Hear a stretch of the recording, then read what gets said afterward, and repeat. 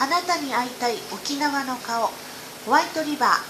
本日は沖縄市にあるホワイトリバーさん。美容院と写真撮影を経営されている泉ひろ子さんをインタビューさせていただきたいと思います。泉さんどうぞよろしくお願いします。まずホワイトリバーという素敵なお名前ですが名前に何か由来はありますか？私の本籍で嘉手納ベースゲート3の近くの高等な植物楽園の近くです。ああなるほど。美容院ということですとやはりお子さんの頃から髪を切ったり着物の着付けは好きだったり得意だったりしたんですか、えー、母が着物が大好きでで最近私が小さい頃の写真見たらいつよく着物を着てるんですね、はい、それが、えー、きっかけだったと思います。あそうですか。あの沖縄の着物と日本の着物ってあの着付けとかは同じなんですか、えっと、日本の着物はきっちり着付けする感じなんですけど、はい、沖縄の着物はゆったり着付けして、はい、えっと、それがあの筒状になってます。あ違うんですね、はい、知りませんでした。写真撮影もご自分でやられるんですか？主人がカメラマンで撮影してます。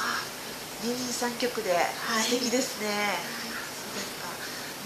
随分あの外国の方のお写真もありますが英会話などはもともと得意だったんですか？あの興味があったんですけれども、えーえー、外人さんのお宅に行って2年ほどおしゃべりさせていただいたりあとわからないところをお客様に直接お聞きして、えー、丸暗記でどうにかあの営業では困らないくらいに話せるようになりました努力を陰でされたんですね。そう立派ですもう、えー、外国の方に着物を着せてあげたりするととても喜ばれると思われますが、何か素敵な思い出などありますか、えー、あのち小さい頃から毎毎年写しにいらしてた方が転勤であの転勤するよって来てくださってあとまた数年後にまた戻ってきたよとか言ってあの挨拶にいらっしゃる時は本当にそのお子さんの成長も嬉しいですし嬉しいですね。あそうですね。今年でオープンして26年ということですが、はい、一番大変だったことは何ですか、えー、子供が小さかった頃あの育児と仕事の両立が大変で特にあの子供が、え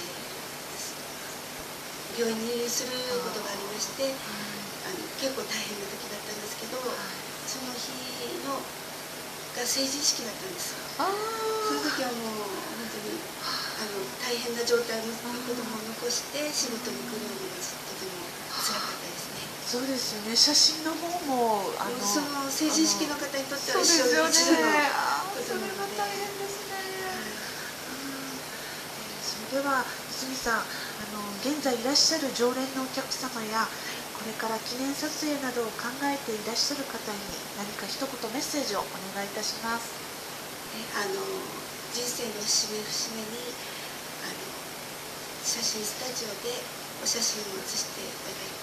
けたらとてもいいかと思います。あの今はデジタルカメラでどんどんご自分と写真撮れるんですけれども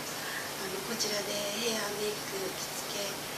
させていただいてより美しく写させていただきますのでぜひよろしくお願いします。はいわかりました。泉さん本日はお忙しいところありがとうございます。今後ともお体に気をつけて頑張ってください、はい、ありがとうございました